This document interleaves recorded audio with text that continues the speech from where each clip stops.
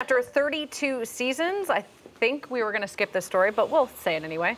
All right, well, we can we can still A local store in Bentonville sold a winning $1 million lottery ticket yesterday. Yeah, Walmart to go, an express store located in Bentonville, sold the uh, top winning lottery ticket. With the million dollar win, there is still one more $1 million winning ticket. So you say there's still a chance.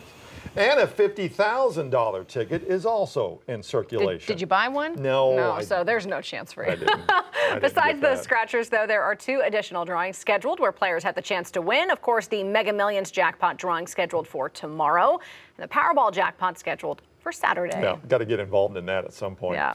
All right, coming up after 30.